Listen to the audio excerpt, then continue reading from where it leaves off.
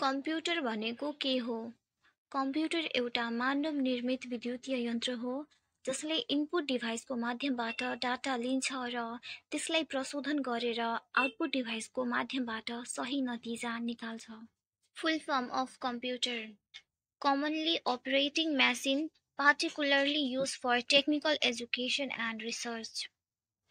Commonly used computer full form CPU, Central Processing Unit, RAM, Random Access Memory, ROM, Read Only Memory, BIOS, Basic Input Output System, SDD, Hard Disk Drive, FDD, Floppy Disk Drive, KBD, Keyboard, CD, Compact Disc, DVD, Digital Video Disc, SMPS, Switch Mode Power Supply, VGA, Video Graphics Array, MIPS, million of instruction per second, Gmail, Google Mail, IP, Internet Protocol, ISP, Internet Service Provider, CDMA, Core Division Multiple Access, RTS, Real Time Streaming, DOC, Document, OTG, On the Go.